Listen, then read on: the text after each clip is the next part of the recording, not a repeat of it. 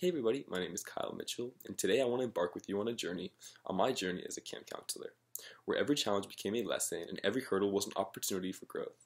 My journey as a camp counselor became more of a proving ground for my seeker spirit as I struggled with different challenges and hurdles that eventually pushed me to my limits. I was in charge of leading a group of 30 children in various activities like outside time, reading, and even taught the kids how to create their own stories.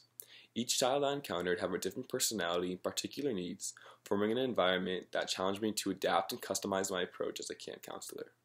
My biggest challenge was trying to keep and make sure I met all the needs of each kid and keeping them engaged in all activities, especially our outside time.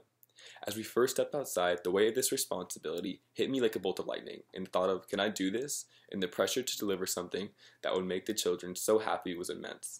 But in this moment of panic, I realized that I actually love the challenge. I love the fear and the challenge to create the children's games that would be engaging, fun, and eventually had to have a purpose.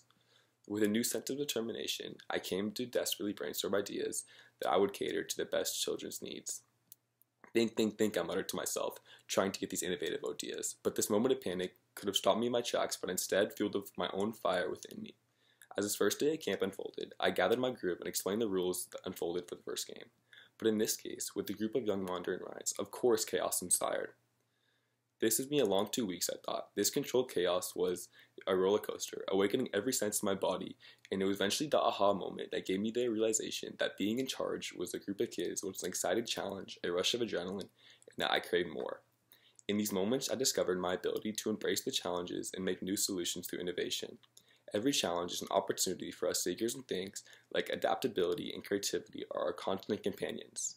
Seekers create an environment for an ongoing quest, inspiring themselves and those around them to let them grow stronger, and these challenges allow us to learn from them. Just as a camp counselor's role involves creating a nurture environment for the children, seekers nurture an environment of continuous learning and improvement. By embracing these challenges, I pushed through the unknown and developed a new sense of open mindedness. Reflecting on my own experience, I realized that being a camp counselor was not just a job, but an, but an opportunity to manifest the seeker within me. In a world where many prefer the same old, same old, I found opportunity in discovering the unknown and manifesting the inner seeker within me.